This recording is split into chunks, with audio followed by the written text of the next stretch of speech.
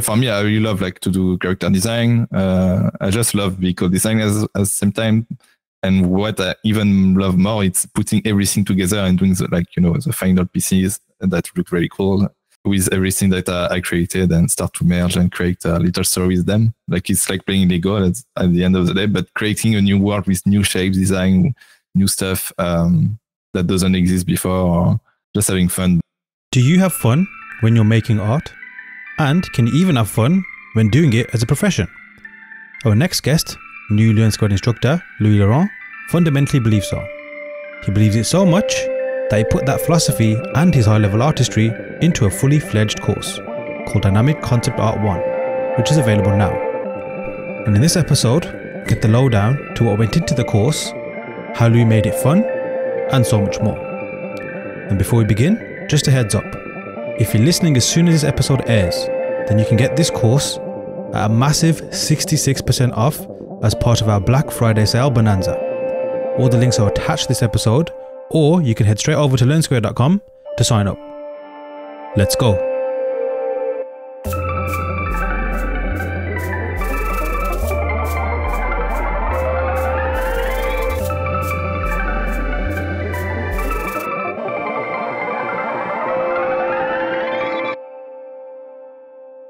Okay, cool. Let's do this. Um, hey everyone, welcome back to the Learn Squared podcast, and I'm delighted to welcome on today's guest, Louis Laurent. Welcome, Louis.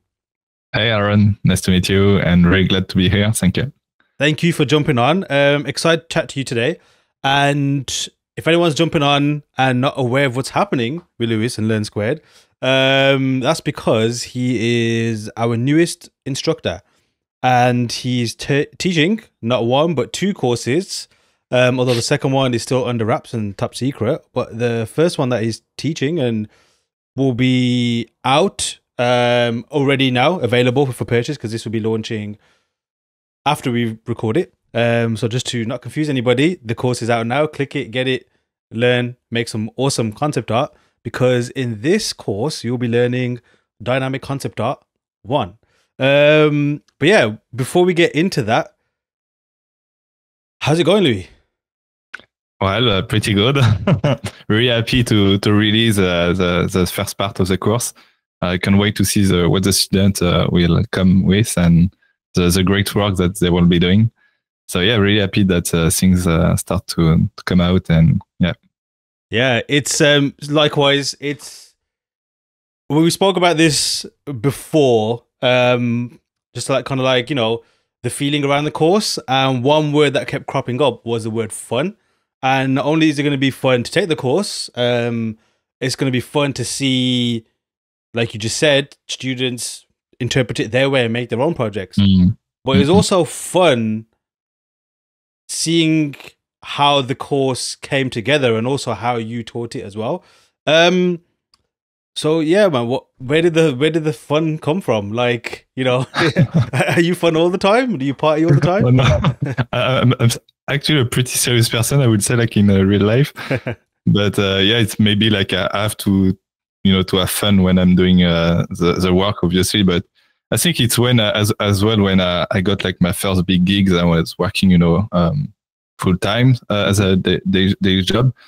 So um, when I, I will like do personal project, I will I will start thinking about the, the workflow that I had, stuff like that, and I wanted like to have something that is very simple and straightforward and really focusing on the fun part actually, rather than you know that complicating uh, everything like at the job basically. Yeah. So avoiding that and yeah, basically having fun and you know um, relaxing, doing personal work and that's that's why I think I focus more on the fun and the creativity part. But because at the end, that's what uh, I enjoy the most doing, rather doing you know all the technical part and that can be boring sometimes at job. Yeah. Um, that's actually cool because it's almost well, yeah, like you just described it. It's almost like the fun element was also a, a survival mechanism, like you said, just to kind of like get through the the professional tasks and, and everything. Um, and obviously you mentioned their workflow and yeah, it's very clear like through the course itself, and I'm sure people are taking this because they've got the course already on pre-order and they're learning it as we speak whilst listening to the podcast, um, or maybe in the future. Um, that the key, one of the biggest things that stands out in the course as well is the workflow element, like from A to B to finished image and all the little chapters and all the little steps you take in between. It has got this effortless feel to it. Um, mm. And by effortless, not in a way where it's kind of like, you know, I just got to click a few things and it's done. Clearly not. There's definitely artistry involved, but it's it's more of an emphasis on just making sure you stay in that you know like artist zone and that uh, that creative zone, like you mentioned as well. Mm-hmm. Um, less worrying about the technical things. Um, but again, with that said, there's a lot of I guess you could say technical elements in the course. It, we go from like digital, uh, we go to VR, we go to 3D, we use AI, we use all these different things in there. Um, so how do you kind of like manage all of these things to keep it into a simple workflow? Because, or has, has it ever kind of gotten out of hand for you? Like, you know, dealing with all these different things, or does that all come naturally? Mm, I think it's uh, it's actually the skills that you develop with time uh, to simplify stuff and really uh, going straight for. I think at the beginning you have to learn like everything uh, and almost know the limits of each software and how you can use them and then you start to develop your own workflow and what you really love about the workflow. So, for example, Blender and 3D, uh, I, I, don't really like doing like texture for uh, or materials for two or three hours. That, that's mm-hmm. stuff that I, I, was doing before that. For example, in Octane, and you know, with all the nodes and stuff like that, it was very a pain. And yeah, after like a, a day of work, you could not recognize your node system. It was completely like uh, full of stuff, very, very like complicated. But I think it's a great way to learn as well. Um, the very like technical and um, you know deep aspect of the of the of the of the software and the limit. So that way you can really cut off everything that you you feel you don't need and simplify everything that you for your need basically. Mm-hmm. And again, for me, it was really uh, about the creativity and the the fun and have something that is very easy to jump between 2D, 3D, maybe come back to 2D, again to 3D, this very feeling of everything is free, easy to, to jump between uh, everything. And so you don't like have the, um, it's a, a, kind of time that you, you are cut inside, yeah, you are in the flow basically, yeah. and you are still creating. It's easy. You, you don't have like to worry too much about uh, technical stuff or, but I think at the beginning it's, you know, it's all right, like to spend a lot of time learning uh, all the limits and other stuff. But that's why I use uh, VR a lot actually. Um, VR is a huge part of my workflow. Most of the time, I start in VR because it's uh, it's very sketchy and very straightforward to the to the end goal, to the to the final point, and it's very like uh, um, delivering as well. Like you feel very free about the in VR. Like it's it's very efficient. It's uh, it's like really sculpting with something in front of your eyes with clay. And that's definitely something that I really like, especially for sketching in 3D. Like you're not in Blender, you know, extruding uh, stuff uh, with polygon is very slow, and uh, you have um, and as well, VR it's um it's a good friend of uh, abstraction and happy accident, and that's something that I really love about happy accident. You know, you start with an idea, if something, and then you finish you you end up with something completely different, but you even love it even more because it's something that you didn't predict uh, at the beginning. So um, so yeah. Yeah, VR is I concur. Like it's it's super fun, and if anyone hasn't used it, you'll know exactly what we're talking about as soon as you get your hands on it, because especially when you're creating, like as soon as you just start. It, you pick it up very quickly because it's very intuitive. I'm sure you'd agree. Yeah. It's not like you have to learn all these different menus and different ways. It's literally you just have this magic sculpting tool slash drawing tool slash all these are different things. Uh, you know, uh, sculpting tool. I think I've already said that. Um, all in one. Um, and when did you kind of like first pick up VR? Because you mentioned a bit uh, a bit earlier about like um, Octane as well. So mm-hmm. obviously, like you know, the industry industry's always been evolving. It always has been. But I guess over the last five years or so, softwares or I guess the go-to tools have changed rapidly. Um, yeah. So when did that kind of like, I guess, and including the VR stuff too, when did you kind of start getting into these digital tools? Have you always been into this, or were you kind of like? You mean maybe... like um, digital tool in general, like Photoshop? Uh, yeah, yeah, yeah. Um, Blender, or yeah. specifically uh, VR? I guess all of it because uh, whilst I do want to get get into, we can talk about VR, I guess specifically. Perhaps it's like it's also fitting to kind of like touch upon, I guess, when you started picking up these kind of tools, um, mm. because although you definitely use it in an artistic way, um, they're not something that a lot of people will always kind of think, oh, oh let's, let's just get doing this. Because let's say you start drawing, you move from drawing to maybe paint, although it's still different, there's still kind of similarities. You kind of can just easily transition mm-hmm. to it. Uh, but when you go to digital, especially with the tools and the software and the plugins and all these kind of things, um, it can get a bit wild and a bit overwhelming. Um, so I guess maybe all those questions asked before, let's put them to one side. Um, maybe this question is better. Like, have you always been kind of like, I guess, comfortable in software and in digital tools? And when did, I guess, your creative journey start in general, like in terms of using tools? Well, I think I used digital tool before actually learning drawing. Uh, that's the funny part because uh, drawing is something that I picked up really, uh, I would say like lately in my life, but my life is quite uh, not long. So, um, but yeah, I, I, remember, I think um, when I was like maybe 14 or 15, something like that, I was starting to learn like Cinema 4D. Right. Um, and basically at that time, um, yeah, it's funny. It's very, uh, I think we, we played like a lot of Modern Warfare 2 with friends and we had like a team and we were doing like um, basically like clip of us doing like uh, you know uh, crazy uh, shit in the game and I was like the graphic guy in the team. So I was basically doing like you know the all the, the the graphic stuff, like the and even like the um, the, the montage of the of the of the clip and uh, the video.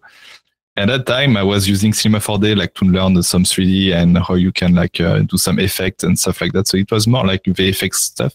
Mm-hmm. Um, so I did that for like I don't know, like just for fun again. But uh, at that time, I, I was not really uh, assuming that you could work uh, almost, uh, you know, uh, if you really push that even further, you could work in, in some way.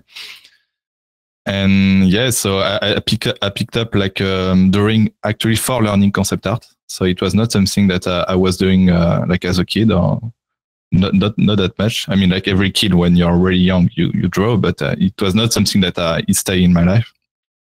Ah, and so, yeah, go ahead, Aaron. No, no, no, sure, yeah. Yeah, so um, so I think I, I, took drawing really and start learning uh, seriously, especially like the art fundamentals, uh, really to learn and to be concept artist as as a profession. I always saw that as a profession, and then it became it became really my passion uh, when I really started to learn it and you know discovering this world of art. And yeah, so digital for me it was something that is it was quite simple to make the, like the switch. Um, going to uh, and I already like really saw how you can apply the art fundamentals to digital painting because it was basically exactly the same. You are doing an image. And at, at that time, I remember when I picked up as well drawing, a very important point is I, I started to learn photography at the same time.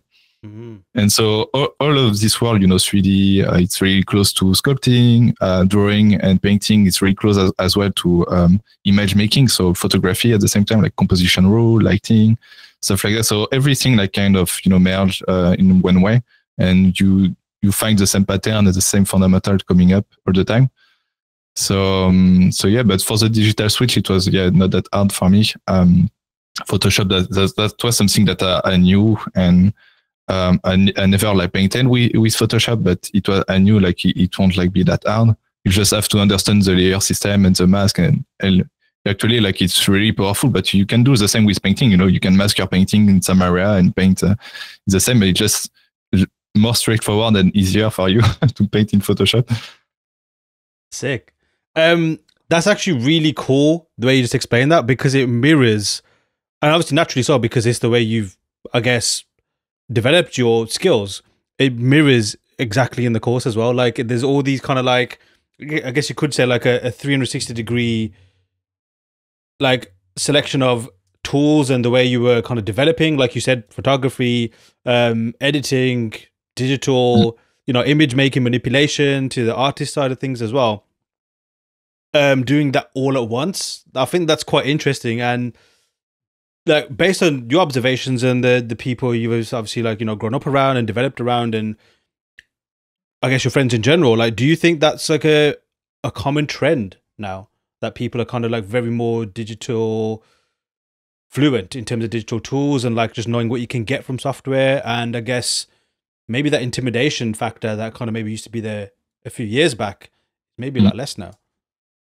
Oh yeah, definitely. Yeah, I think it's even the opposite now. Like uh, actually taking just a pen and paper, it's actually more intimidating now than that you know going to digital. So because you know with digital you can do a lot of error and you have control Z and stuff like that.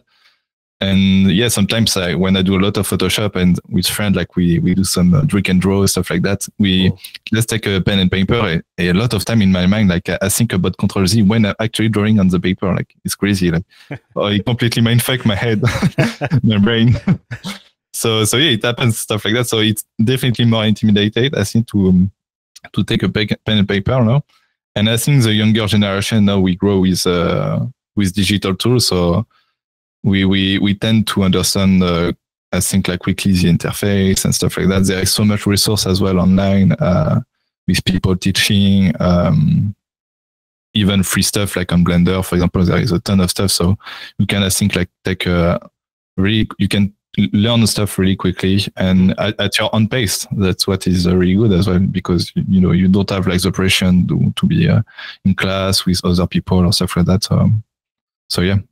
Yeah, I think that's a good point as well. Like touching back upon the course also is I guess for those that are kind of like yourself fluent and comfortable with the tools, they can just get going straight away, mm. plan their project, get creating, building the assets and get painting. Um, and just finalizing the whole image. But equally, for those that are kind of like, you know, still I guess um trying to get used to the tools and trying to familiarize themselves in that aspect as well as trying to make the image as well, not only do you give a step by step process in terms of how you use the tools where you use them, but equally, um, the way the course is structured is there is no rush, I guess you could say, for them as well, because they can mm-hmm. easily take their time, learn at their own pace, get comfortable with the tools. And then once they're ready, all the fun begins, right? Yeah, definitely. I, I go through like uh, each step and I try to explain as much the technical aspect than the, the thought process behind the, the decision that I make, um, that I made. So, um, so yeah, definitely. I mean, if you are like uh, still learning Blender, even VR, I think VR is very simple to to learn. So I still like go over the tool and how you can use them and how I use them personally. So I think it's a good point for for the student like to see how um, you know the, the professional are using the tools. And so yeah. And and just to i guess re-emphasize as well like although this is i guess a new workflow and a new way of learning things and it's fun as well this mm. is something that you use daily professionally. Like this isn't just um just just hey look at this you know there's a new way of doing things. Like this is something yeah. that you actually use on high-end projects. Um and speaking of projects, and I guess working professionally, when did that start for you? Like, when did you break through into the industry? Uh, I will say like my big um, breakthrough was one year ago when I hit Framestore. Um, so it's not that long. Uh, but before that, I did like some uh, freelance work, um, working for bigger and smaller companies. Uh, NetEase, I work with them. Uh, Mood Visual, with uh, which is um, concept art uh, studio. Uh, we did a lot of stuff with them, more video game, um, and yeah, some stuff in um, for TV series as well, like FX Network. Um, and then I, I hit Framestore, and and Framestore is very big, so you have like a, a ton of different projects: Marvel, Disney, um, Apple, Warner. So it's really cool to see all those projects. It's awesome, like to see. Yeah? It's crazy actually. So so yeah, and I'm assuming, um, although not not trying to dip, dip too much into NDA to get you in trouble, but I'm assuming you work on a variety of projects of different styles, right? Uh, yeah, yeah, it, it, it happened. Most of the time, it's still like uh, I would say like in film, uh, real life, uh, like uh, uh realism. Mm-hmm. Uh, but it depends. Like we have like um, we have different projects that are definitely more uh, stylized and uh, so yeah, no, it happened. But more, most of the time in film, it's uh, especially at Framestore, it's um, it's more realism. Mm. And obviously, like we already said that that's this is the workflow that you use on projects as well. Do you yeah. find that like when you are working on like say different maybe styles or different maybe like looks that the client wants, etc., the project needs, do you find your um, I guess this is, a, this is a loaded question, um, but do you find that your um, process and workflow is applicable to any project that you work on, or do you have to find that you have to only use certain aspects or certain pieces yeah. from your workflow, or does it always fit almost to anything that you tackle? No, no, you can tackle very anything you want with this workflow because if you have even like a stylized um, project, like a, I would say like a cartoon or anything, like it's all about the shape and the design you are going to use at the end. So, and even like the lighting, the rendering is this kind of stuff you can just tweak in Blender or during the paint over process. So no, no, you can really do uh, anything you want. So everything. Uh, I mean, it's, it's really up to to your skill and your fundamentals again, how, how you're going to interpret and fit into the style uh, when you are going to sketch in the air, maybe uh, what shape you are going to use. Um, so so yeah, no, it definitely fits any style. One of the coolest things that I like from the course, and spoiler for the second course as well, this does turn up hmm. in that course too. But we're not going to speak about that right now. Um, is the way you plan the project.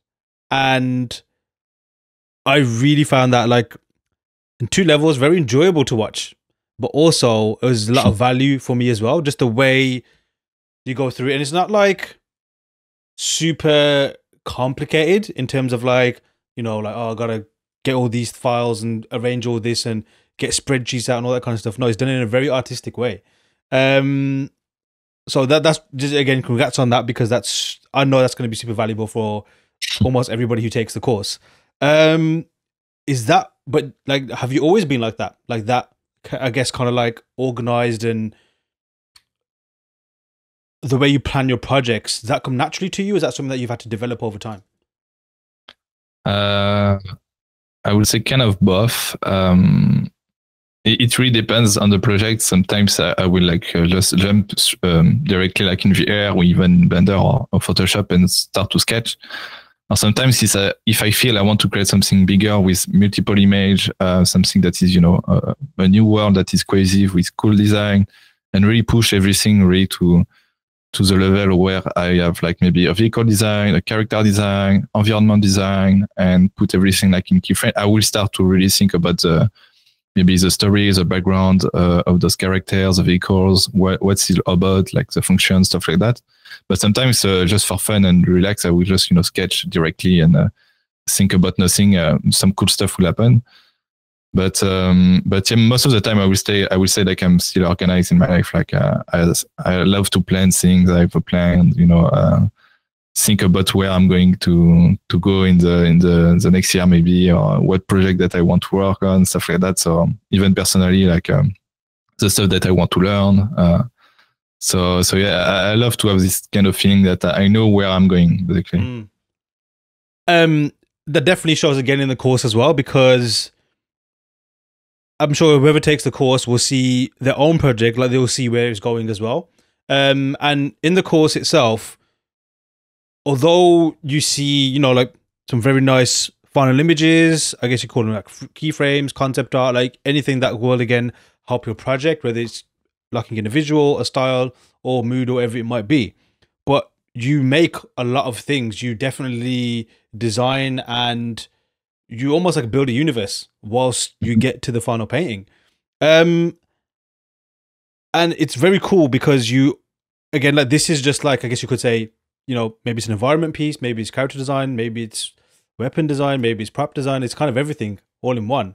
Um, is that on purpose? Do you do that kind of like because you like to tick all these kind of boxes, or is there, I guess, more kind of like, I guess there's more intention behind it because maybe for work or maybe just for professional workflow, that is probably what's needed nowadays. Uh, I'm not sure that you really need to be like a, a generalist. I would say like in terms of uh, uh, like completely like doing everything in your portfolio to to work. I would say like it's even more. Uh, you should like maybe not not you should, but uh, I will advise that maybe to you maybe to specialize at least like maybe 60 or 70% into something that you are really strong and maybe you are able to do the other stuff. Um, but yeah, for me, I really love like to do character design. Uh, I just love vehicle design as at the same time. And what I even love more, it's putting everything together and doing the, like, you know, the final pieces that look very cool with everything that uh, I created and start to merge and create a little story with them. Like it's like playing Lego at, at the end of the day, but creating a new world with new shapes, design, new stuff um, that doesn't exist before, just having fun basically. And I'm sure clients and art directors love that kind of stuff, right? Oh yeah, oh yeah, because they, they love like new idea. They always come to you. We want a new idea with with a script that is uh, seen like a, a ton of time, but they, they come to we, we want something new and unique. That's the their favorite words. um, and you mentioned unique. Um, jumping back to VR, I guess unique's kind of like a very subjective word. Like maybe too unique is off-putting for some people. You kind of mm. want to like you know close to a style that's recognizable but still different but there's yeah. something unique about VR because you can really come up with unique things. Um, so when did you kind of like first discover VR, um, or was it always like something that you kind of saw and that I need to figure that out? Yeah, no, I think it was like um, uh, Jamar, uh, Jama Jurabaev, who who teach a lot of uh, teach. Uh, before that, he was using a lot of VR, and nowadays I don't think he uses uh, that much. Um, but he, he used VR, I think Gravity Sketch it was, uh, and I started like to to learn it. I, I, saw the potential at that time. He was like very big about it, like he was, this is the future and everything. It's a shame that uh, a few years later they didn't develop that much uh, the different software. But th- there is a great thing uh, in the horizon coming up, so maybe a new software. So we'll see. But um, Gravity Sketch is a really good one, and then I, I saw really the potential and the the the freedom aspect and the result that that, that you you could have like in the efficiency as well of the tool. That it's really very fast. Um, and then uh, I discovered well Medium. So Medium is um, the software that I use inside the course, which is more uh, a sculpting tool, uh, like 3D Coat uh, a bit and it's a really really powerful tool and i saw the abstraction aspect where you can really do uh, i think you you just have to try to understand how how crazy it can mm-hmm. be like the, the, the freedom. But i saw a lot of people who let down vr at some point like they they they, um, they don't use it anymore or stuff like that.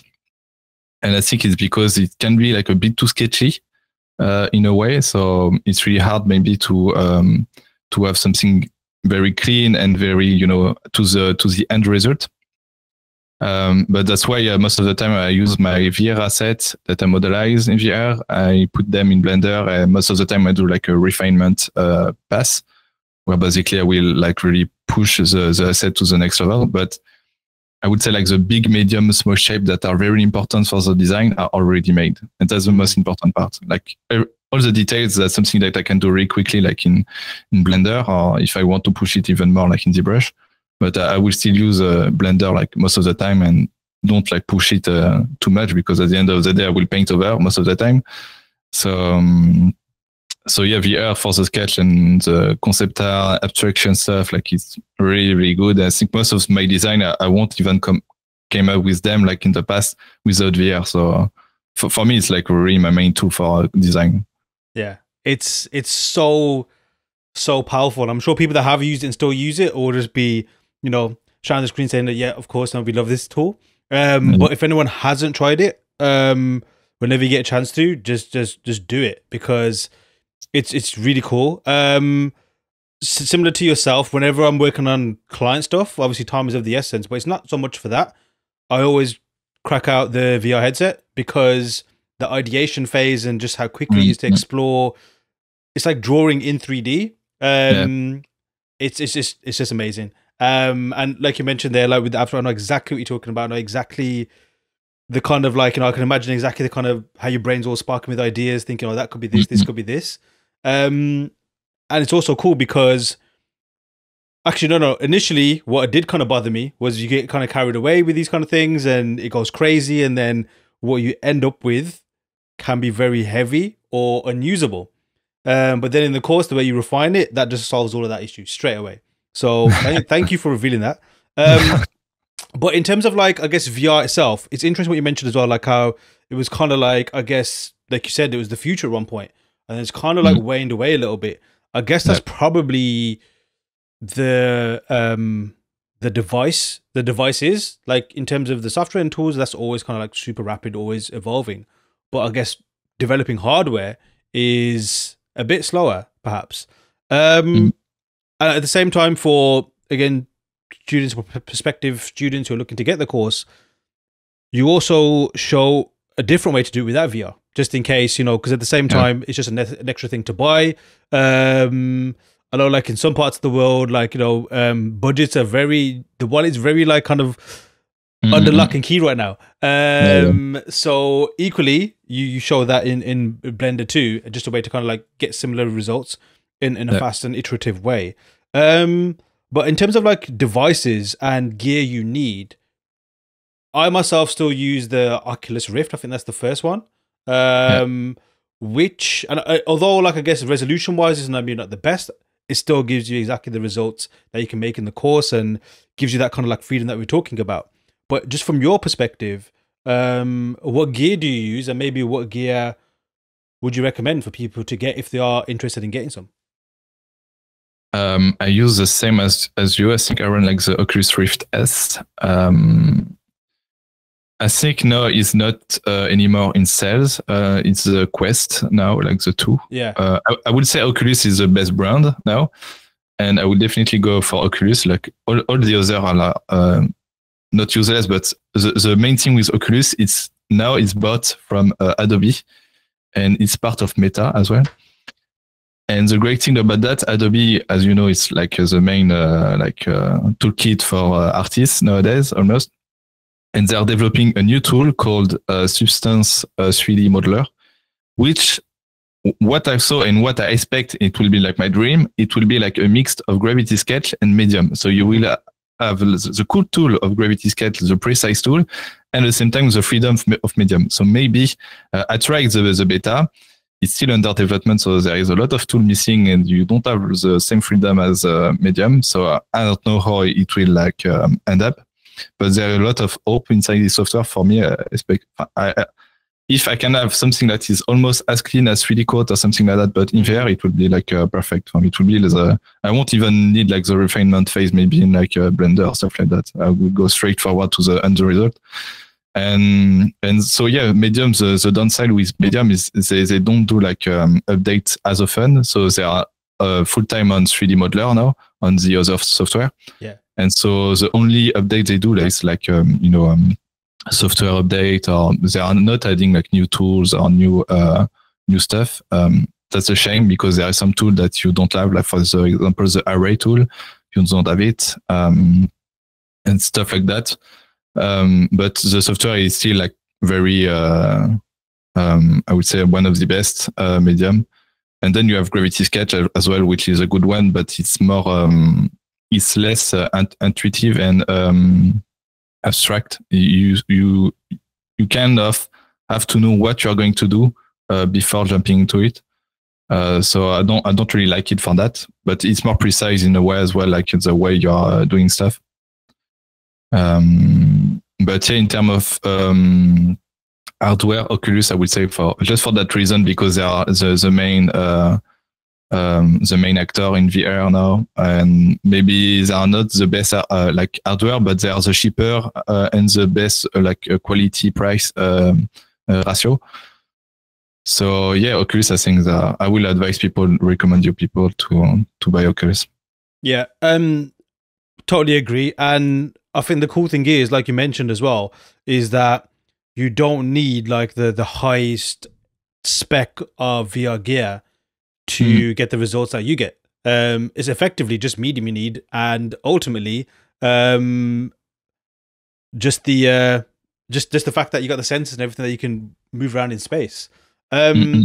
and it's I, I always find it interesting with the two different tools you mentioned. Like it is almost the two things that you can use. I'm sure there's others available, but it is literally Medium yeah. and Gravity Sketch, One's you could say, I guess, more hard surface focused or easier mm-hmm. for, although you can do it in medium, and medium is definitely more for abstract and um, organic stuff. But again, you can easily do either in both. Um, but just like in terms of the future in general, like I guess we can just speculate. It's only a matter of time before they make devices that are not as cumbersome, more accessible, and I guess more intuitive in terms of like just having to create something. You mentioned obviously Adobe uh, 3D Modeler, I think they're calling it, um, yeah. which which might be that you don't need to have to export stuff to bring it to another package and do that. Mm-hmm. It's just going to be all in one go. Um, but yeah, like, what do you think about the future of VR and where it's headed? And I guess the kind of like, based on obviously your assumptions and how you've been using the tools and everything, and just looking at the space in general, like, what kind of things do you think we'll have at our disposal?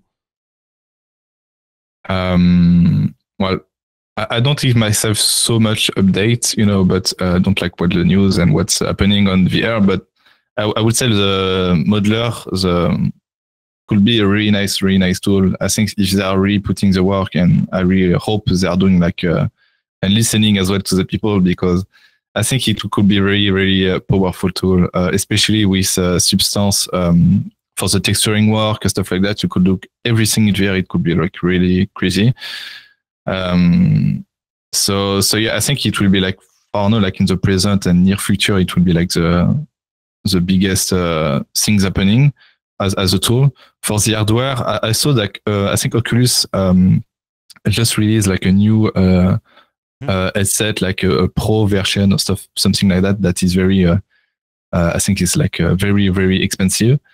Um, I'm not sure about that. I, I, still think VR should be like something that is affordable. Um, the, the, Quest was actually something crazy that you don't even need the um, cable. You could use the, the, the headset without cable, so that's really nice.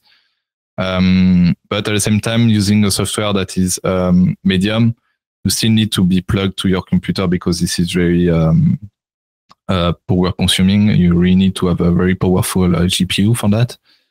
Um, but yeah, I, I, don't know how. It, I think the hardware will be better, like the resolution of the cask and stuff like that. It will be better for eyes, of course.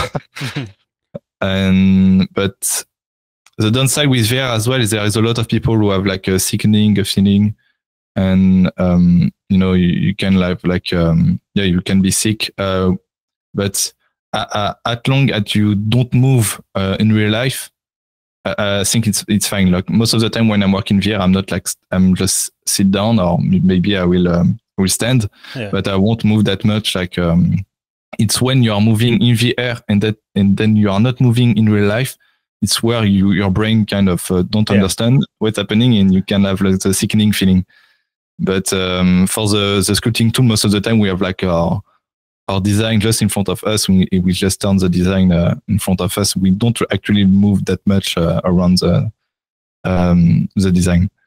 So so yeah i don't know how it really evolves. Um, we'll see. Now in terms of from your perspective as a creative what is your ideal VR headset? Like, I guess someone's listening right now, they're going to throw trillions of dollars at this and make to your spec. What would be the perfect VR tool?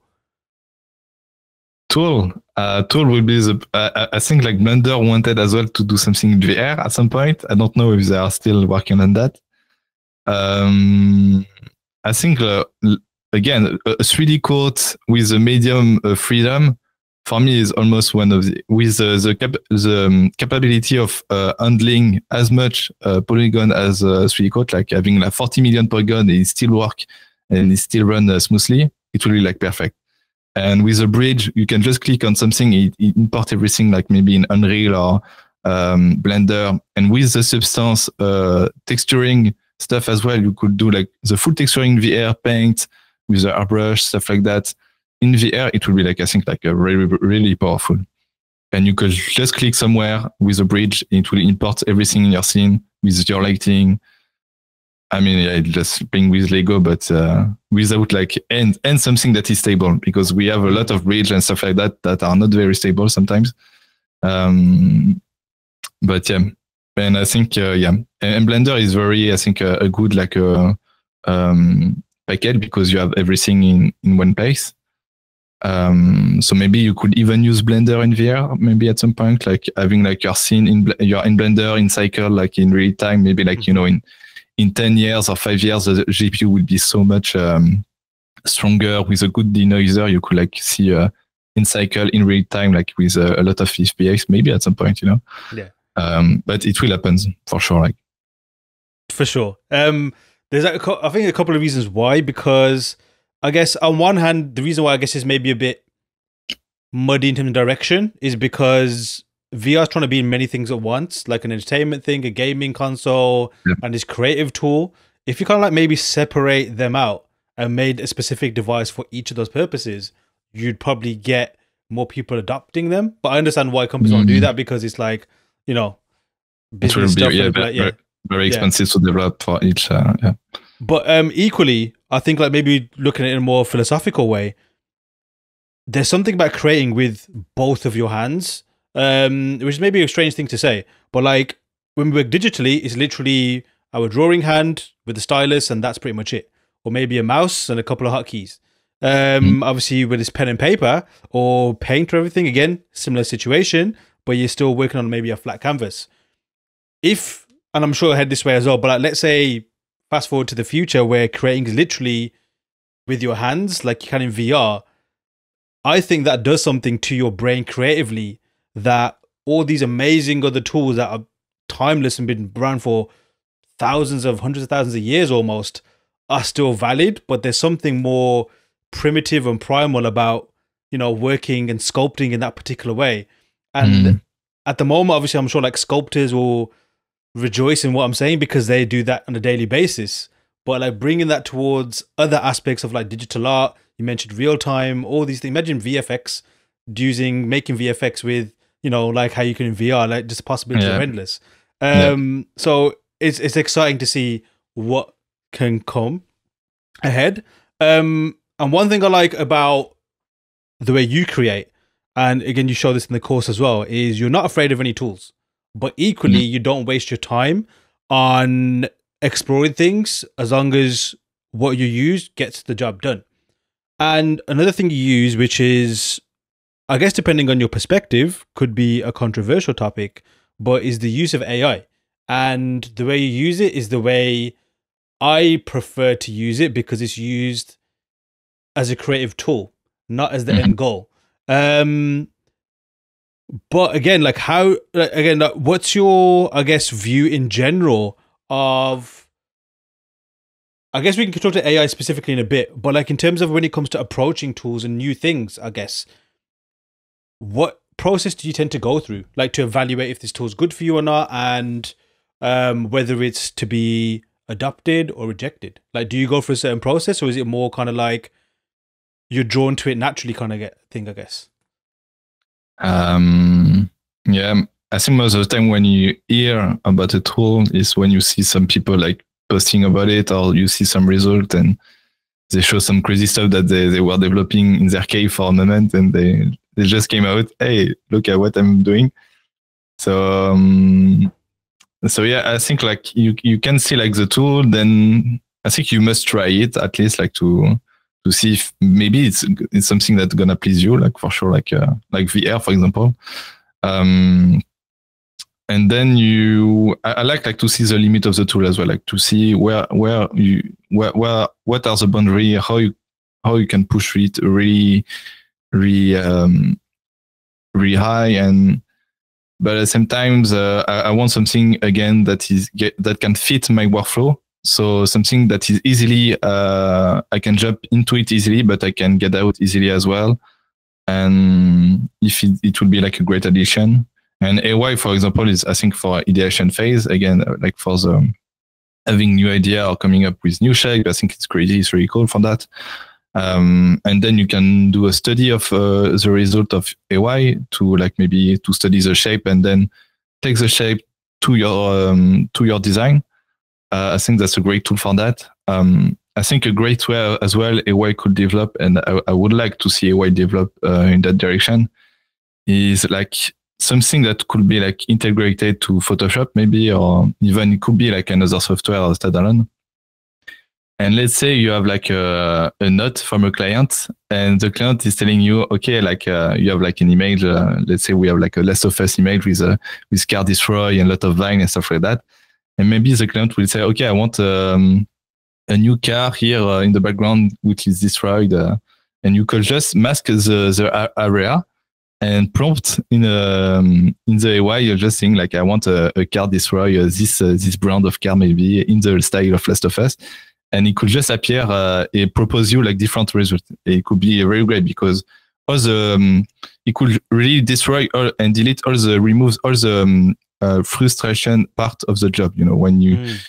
The most most cool part is when you are doing the, you know the, the big picture and the, the composition, the lighting, stuff like that. But when you start to get a, a lot of notes and uh, the supervisor or the art director is asking you to move the, the tree uh, two pixels on the right or the, this um, this car two pixels on the left, it, it gets very annoying and it's, it's where you start to have like a, depression. and that's the, the, bad side of the job. But um, I think AI could be very strong for that, like um, for the for the notes. But then, if AI at some point get to the point where you can just prompt and you have like a full concept art uh, finished, uh, fleshed out, I, I, won't use it that much because it's not something that I would have fun with it uh, it's all about again in the course it's the same why why i develop this workflow it's because it's fun and creative mm-hmm. but if i don't have fun using like just prompting typing prompt all the day on my computer uh, i won't use it uh, for me i think there are still there is still place like for people doing you know stuff even traditionally yeah there's still like concept arting doing like pen and paper um, but yeah, AI is a big topic so nowadays. A lot of uh, a lot of stuff happening with that. Yeah, it's it's crazy um, it's probably like the craziest and most impactful thing. Mm. And, and uh, uh, even by saying it in that way, it's kind of still doing it an understatement because, like the way you just explained it as well, like in one go, it equally is a tool, it's a threat, it's a game changer, it's um a new frontier it's all these all these crazy things in one go. And as humans we're used to kind of seeing things in like small doses. And yeah. you know like the left hand is the different to the right hand and you know all the body parts yeah. this is all this thing in one crazy weird thing. Um and i guess like with anything you just kind of like take the things that you like and that's exactly what you've done. Um in terms of like and it's also clear i think to point out because I don't know if it's right to put it this way, but like you're secure in your workflow, at least in terms of what you want and how you want to create. So mm-hmm. therefore, that kind of makes it easy, I guess, to decide upon these things. Whereas, and I'm I'm in the same boat as you. Whereas, if it becomes to the point where is oh, you don't need to make and make make art anymore or generate ideas anymore and explore ideas anymore, you can just make a final image. I'm with you. Like that is not interesting. I, am not into Like whether it's like the image is cool and everything, that's fine. I'm sure people will like that kind of stuff. But mm. from what I want and what I like yeah. to do as a creative, and same as yourself, is now I want to make those steps. I want to go through that journey of generating exactly, ideas yeah. and everything. But then equally, AI is so powerful when it comes to helping you generate ideas. Um, mm. So yeah, it's going to be interesting to see how this develops and like we mentioned with the VR stuff, it, it might well end up branching off into all these different realms where it's what it is for one select demographic versus what we need and everything mm-hmm. else as well. Um, but I guess just like one final note on AI, um, for many, it's a controversial topic because they see it as a form of theft, which in many cases it is. Um, on another aspect, it's I guess a sense of insecurity because people are thinking, I'm not relevant anymore. What's the point in learning anything, especially ones that I guess maybe developing stuff. Um, and then on the other side, it's just a case of maybe some people just reject it outright. What's, I guess, your take on that? Mm. If uh, is it something that afraid me or just gen- made, uh... yeah, I guess like just generally like in, in AI in general, like um what do you think of it? If that's if yeah, that's yeah. good, Um, good question. no, it's definitely a complicated um, topics because there's so much stuff involved about. It- It's even bigger than just you know our concept art industry. I mean, concept art industry is very small, and sometimes we we we, we don't re- realize that it's really really small in the world. Mhm. we don't represent that much. And a way I think it's much more bigger than that. It will uh, touch every aspect of every industry at some point. Like, and it comes to the yeah to the point where uh, what what's like almost like the the meaning of life in a way. Like, what's uh, our goal? Like, if uh, a computer can replace us, uh, what we're gonna do? You know, just having fun and going outside. I don't I don't know. Maybe.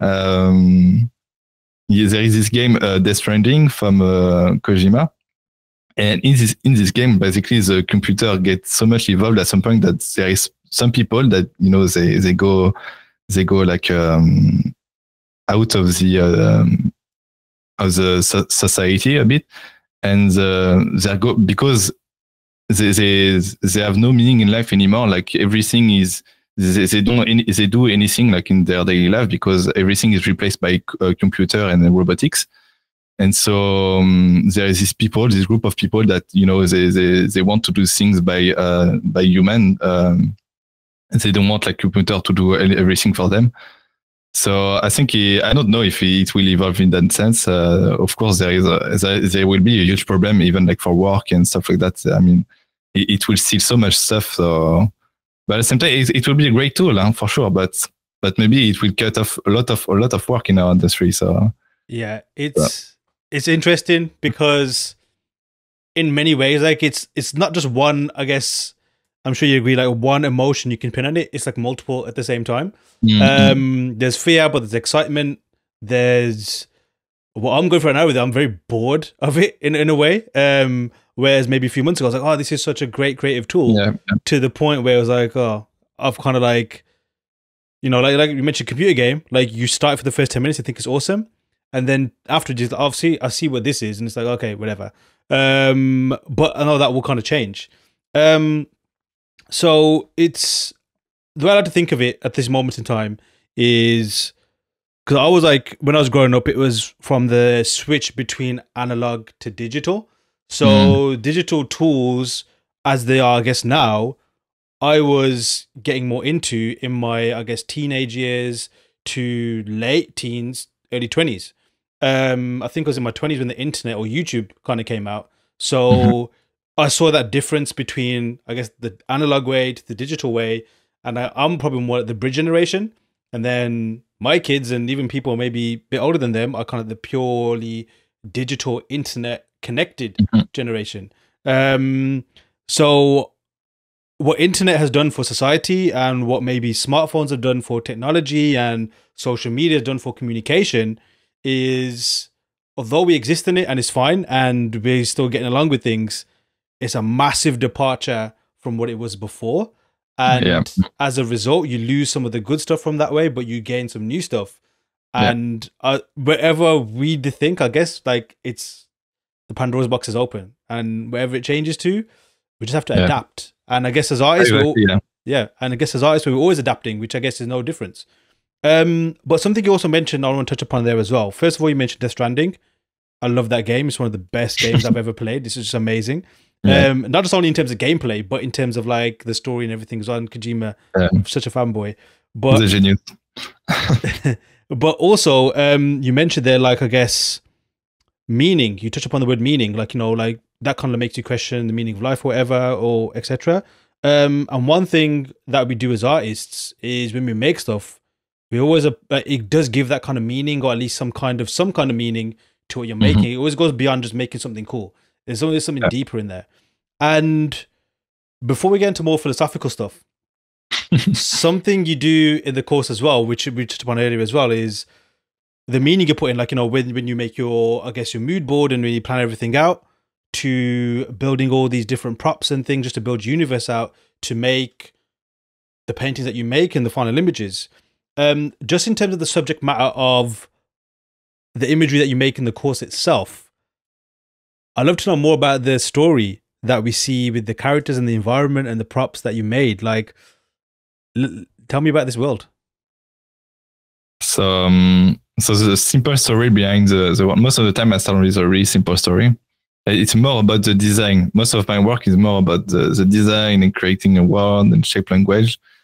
Um, and you, you kind of see like it's, most of the time it's really simple. Like it will be like a, if we could describe like a, a group of character is crossing a bridge. It's simple as that, but I will be maybe doing like 10 different projects with 10 different uh, design of bridge. um, but yeah, in this world, we have like a small group of characters. So they are um, human character. Um, so it's, uh, it's uh, in the future, it's a sci-fi and those characters are uh, explorers. So basically, like uh, uh, scouts, scout guys, which their job is basically to explore the landscape and to discover this world and maybe know a bit more about what this world is about.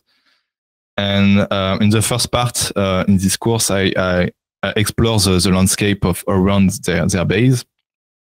And we saw how the rocks are looking, the, the plants around, stuff like that. Uh, and then the second part of the course will be more about their base, actually where they land on the planet and so how um, how they they are living and they develop their, their base and stuff like that. And so that's why the, the first course is more, I would say, like beginner intermediate because the subject is um, more friendly to um, to making uh, error and mistakes mm-hmm. um, because with something that is very organic and you know landscape stuff like that, you you cannot really do big mistakes. Uh, it's not like a character where you, if it's a human, you have like to have symmetric eyes and stuff like that. You know, you can really uh, do uh, that big mistake like that. Um, same with vehicle and hard surface in general. I would say it's a bit more. Uh, you have like kind of understand maybe the design aspect and the, um, you know the mathematical proportion stuff like that. It's a bit more uh, tricky, I would say, and you have to uh, to learn those kind of things. It's the same for organic stuff. Of, of course, you use the same principle, but again, um, it won't be seen as much. Like, um, and so yeah, we see those characters. And most of the time, I do project like that because I really love to travel as well a lot. And um, and for me, it's a way to travel and you know to to go in this world and to develop this world and think about this world, what it look like and stuff like that. So so yeah, Sick. You can definitely see the explorer theme throughout. Mm. Not just only in terms of, like, I guess, the the final image, because what's cooler than exploring a new world, right? Um, especially with badass gear and weaponry and everything else that you have. Um, but equally, in terms of, it's, it's very poetic in my in my opinion because it ties in with again your workflow, which is also like you said, we said fun, but also very exploratory. If I feel because again, that's the way you ideate in VR, which which again is just a tool, right? Like you can easily do that in anything else, even if you want to do it with clay or whatever. Like you know, you can always just get those happy accidents, like you mentioned, in other mm-hmm. ways as well. But I'm sure you'd agree the reason why the choices that we make as creatives are cool because you have that kind of like switch that's on, which always is explore exploration mode. This could be this, mm-hmm. that could be this, and this is going to be this. Um, but in terms of like, I know you touched upon it a little bit there as well.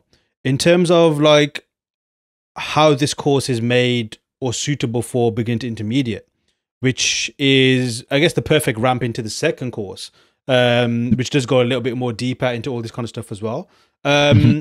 What specific or conscious choices did you make to ensure that this is going to be friendly for the beginner slash intermediate artist who is looking to advance their skills? Like, did you put anything specific in the course, or were you doing anything deliberately in terms of the learning and the and the curriculum to ensure that the beginner is catered for? Yeah. So um, I would say before the course, my workflow was pretty chaotic. It, it will be like the same uh, structure, but it will be more chaotic. Mm-hmm. And so doing the course helped me a lot with uh, organization. I have something that is very structured and precise for the student. So they, they can like um, uh, copy and do the same thing and it will work in a way, um, at least for the structure and the result. Um, and yeah, so I would say like VR is a very simple tool. this is very not complicated in terms of technical aspect. It's very easy to to handle. Um, in Blender, I, sim- I simplify everything. Like the um, the, the sculpting tool again is quite simple, but I use some techniques that are not that much complicated. I think to to understand uh, the the material uh, aspect and texturing tool. Uh, again, I go over that it's more important to find a very good texture that fits your world rather than doing like uh, again 20, 20 different nodes in with 10, 20 different metal for one asset uh, as something that look already good on your asset, a texture that uh, look good. So again, I, I simplify basically everything. And so by simplifying everything, I still have like some image that I, I love at the end. So uh, I was thinking, you know, you, you can just work like, like that at the end of the day, it still work. And it's all about as well, I speak a lot about your fundamentals as well. So by simplifying the workflow, it will uh, rely more on your fundamentals in a way because um, you cannot cheat that much because it's more straightforward to the to the goal. So you have to to have some an asset that is interesting already to look. You have to find a texture that is interesting to look because you are not cheating with a lot of different materials or a lot of different stuff. So it really, I think it's a more slow pace maybe if you're beginning. You, you will you won't go as fast, but I think it's it's a great way to learn making good choice as well. Like the making uh, you know um, decision making is a nice skill as well. Uh, especially a, job because if you are not taking the, the, good decision, maybe you are going to spend like four hours in the um, you know for nothing. So um, so yeah, I think it's, a lot. About, uh, in a way, it's a lot about good decision making and making like the um, taking the right texture, putting like the making the right layout with the right camera uh, that show your story um, the best possible and tell your story the best possible way. So I go over the lighting as well, the camera placement, stuff like that. Um, and again, it's at the same time I'm speaking a lot about, a lot about Accident, and every step uh, in, in the workflow, I embrace Accident. I'm I always try to have something that will create Accident in a way, and that's why I would say like the the you know you have all those Accidents. The maybe the result you sketch the, the very early sketch that you did will will be completely different, but by um, at the very end. Um, still, I have some sketch that I have done in 2D that are very similar to the um, to the to the final painting um, because even it's the sketch is different, like the composition. You can still uh, the composition for your sketch, and maybe the shape will be slightly different and stuff like that. But you know, the composition will be maybe uh, quite close to the to your earlier uh, idea. But uh, yeah, and Photoshop the paint over face again. I, have done something very structured for the for the workflow. I have something very precise that you know you have each step in your paint over, so you just you know uh, do each step one by one. And one thing that I, I try to um, to point out as well is do not jump into the next step if you are not happy your, with your actual step. Um, I think that's something that I, read in a Richard Schmid uh, book, uh, Alla Prima and he's, he's um, a fine art painter. Um, he was a fine art painter, uh, which is, I think, like one of a great aspiration. A lot of concept artists about uh, brushwork as well. And he, he, he yeah, he in this book he he talk about like do not skip a step that if you are not happy with it um, because it, it, at some point it will catch you it will catch you and you know you will feel that some there are some point that are some weakness in your image or maybe in your design or your texturing there's something that you are not happy with it. And it, it will catch you at some point and you are not going to be very happy with the final result maybe. So so maybe for the the beginner you, you should like really you know take your time. It's not about rushing stuff try like to really push each step to the to your limit almost and find really something um, that you're really happy with it that look really good to to your eye. Um so yeah. Yeah dude. Very very well put. Um couple of things i just want to jump on and the things you mentioned is first and that was my before before we actually spoke um when i checked out the course one of the one of the key takeaway that i took from this was the fact that is how to work correctly and smartly. And like you said you don't need like 20 different nodes and all these kind of things. It's just mm-hmm. simplify everything to the point where there's nothing left to simplify. Then have fun.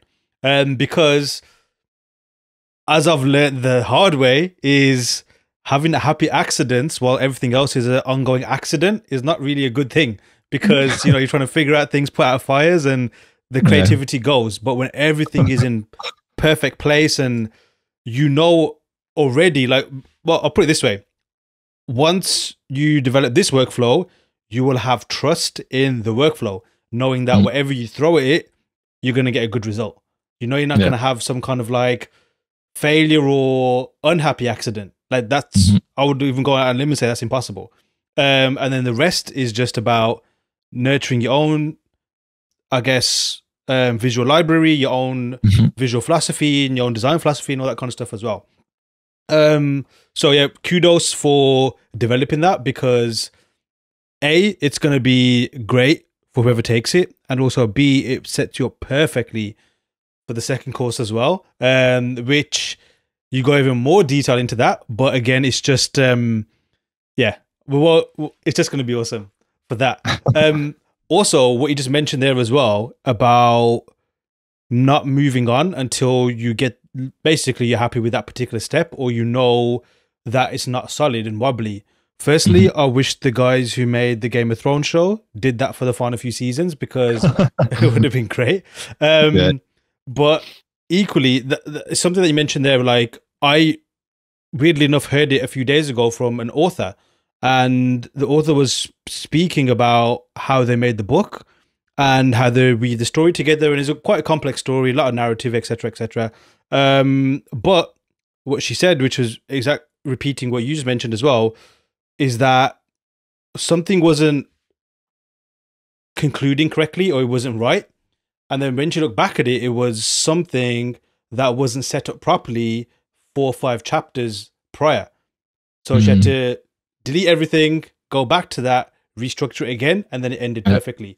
Um, and as always, that's like I think one of the most ultimate piece of advice you can give to anybody, even though it's tough on a deadline sometimes. But yeah, you got to just like nail or at least have that kind of I guess mindset where to progress when it's time to progress. And I guess you'll kind of know when you have to progress, right? Like you'll know where it's at that okay, I'm happy with this, and then we'll move on, right? Yeah. Yeah, exactly. And, yeah. Mm. And in terms of like, I guess just one one final thing before we uh wrap up. Where does your inspiration come from? And that's quite like a a very vague question to ask a creative because inspiration come from anywhere and also you can do deliberately depending on the job as well. Yeah. But what kind of things make you tick creatively? Because you mentioned photography as well. I'm sure that's a big, big influence in terms of yeah. your work and you can kind of see as well. But yeah, what are kind of like the things that definitely make you tick? And no matter what, if you come across that particular, I guess, element or emotion or whatever it might be, you know, the creativity goes crazy. Mm, I would say I, love like to look at uh, and to watch a lot of images. Um, film as well is a big thing. Like I love films, uh, especially like Baraka and Samsara is um, one of my um, favorite movies. Um, they're pretty good like, in terms of uh, composition and stuff like that.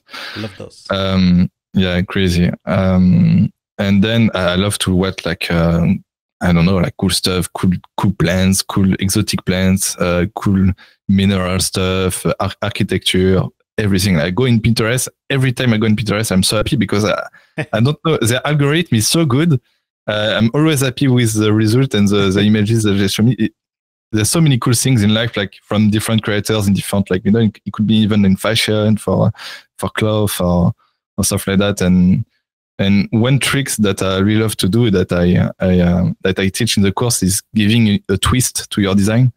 So most of the time, it's something that that works uh, at least for me. So I will take, like for example, my characters. My character is is a lot about uh, military equipment. So this is some, some, something that uh, I teach in, actually in the second course. Um, but I, I, mixed some uh, some close fashion design with it, you know, and and all the time like uh, with some you know cool random shape that look I don't know it just look cool. It's maybe not functional, but uh, there is some part that are functional on the character that tells the story that you know this is functional and then you have uh, room for you know uh, express yourself and something that is more maybe crazy and uh, that just look good and I did the same for the for the landscapes. For the landscape, I have something light in mind, and I wanted as well to the to have the the clay feeling to the landscape, um, and have some exotic plants that uh, you know light up in the dark and stuff like that. So always have like uh, you know you have maybe you start to to have your references from real life, and then you add some twists, some idea like oh I couldn't bring that, and but yeah, in terms of inspiration, like most of the time uh, when I open uh, Pinterest, I I already have 10 different projects in mind. and with that, does that ever become a problem for you? Like how do you kind of like tame tame your mind in that sense? Oh yeah, definitely. Uh, sometimes it's really hard to stick to one project and you know finish it. To uh, I, I, have a lot of projects uh, unfinished, but I think a lot of people are in the same boat. Um, but those projects, I'm, I, I don't regret. You know, to not finish them. I think they are they are maybe learning a project that you won't finish and won't show, but that's fine. Maybe you know, even if they have great potential or stuff like that. But um, yeah, I think again, if you have a structure and organize uh, um, workflow, even for the um, the references and stuff like that, you can um, start to really uh, fall in love with your project and you really want to to push it to the next level. Instead of you know if you just grab two or three pictures and you start seeking and maybe you are not you know as much involved in the project so you are not going to uh, push it really far and maybe as well putting a deadline for you can help. Um, definitely something that I, I did in the past putting deadline. And maybe as well doing the project at the same time with a friend uh, or with different people uh, you you are in group and you, you tell uh, you know to the group you know we have one month to do the project and what was results you would like at the end of the month and you start to giving uh, feedbacks each other and having this kind of pressure uh, will definitely help you know to to really push the project at the end even if it's not perfect it's gonna it's not gonna be perfect but um, at least it's finished and you have something to show in your portfolio to the world amazing advice. And I guess just to wrap up the the podcast on, I guess some final amazing advice is. Do you have any, I guess, tips or advice or just general, I guess, final thoughts or words for your students that who are taking the course as we speak or are looking to take the course? Um, anything that maybe would help them to I guess, get the most out of the course? Mm, focus more on your actual project rather than mine. Um, I would say like try to have something that it's really you, your inspiration, your you know your world, your work. Um, I know that's completely fine if you if you try to copy what I'm doing, and you know we all oh we all do that. But I think at the end of the day, you are going to be more happier and have more fun if you are uh, doing your stuff. Um, one one way I, I love to learn uh, and I'm still doing it is um, when I was beginning, I was doing almost the exact same thing of the um, of the teacher, um, and then I will redo the project with the same techniques but completely different. I will do my stuff. So you know, you could maybe copy what I'm doing and try to have something you know quite um, equivalent and similar, but then maybe redoing the same project and doing the same techniques and maybe going jumping back into some part of you know it's maybe more blurred for you. You want to go deeper into that and doing your re own project, you know, something that is going to be your stuff and you're going to be attached and love it, and you'll be really proud to be to have it. And yeah, so um, so doing your own stuff for sure will be something that will uh, um, put you in a in a place that you are more uh, detached from the industry, more unique maybe, and uh, it will be uh, definitely a, great way for uh, to to stand out uh, in their portfolio from the other. Amazing, and I know it's going to be amazing with the the work that people are going to create, and I'm sure there would definitely be. I'm excited to see, like you just mentioned, the worlds that they end up creating like, mm-hmm. you know, when they, because the workflow is solid and it will enable anyone to make whatever they want to make. I know that's quite a big statement, but I'm, I'll stand behind that 1 million percent. um, because the same way as I can be greedy thinking that, okay, I know how I'm going to use this for my stuff. I also enjoyed the stuff that you made. Mhm. And not just in terms of like how it is from artist to artist, like look, appreciating it from a visual sense, but also like like you mentioned, like you know the the exploration aspect and what this world is. Equally, I'm going to be excited to see what students and other artists are going to be doing with that as well. Um, so yeah, thank you for making this gem. And the best thing about this is this is dynamic concept art one. Looking forward to the second one. But Louis, it was amazing chatting with you. Thank you for your time, and Thank this was a you, lot of fun. Thank you very much. Thank you everyone for uh, for the people who are taking the course and for uh, everyone who listen. So yeah, and don't hesitate to reach out to me um, to DM me for feedbacks or even like if you have any question about the course or anything. A massive thanks to Louis for that amazing conversation. Louis' course, Dynamic Concept Art 1, is available now. Sign up today and be sure to give Louis and Learn Squared a follow. Till next time.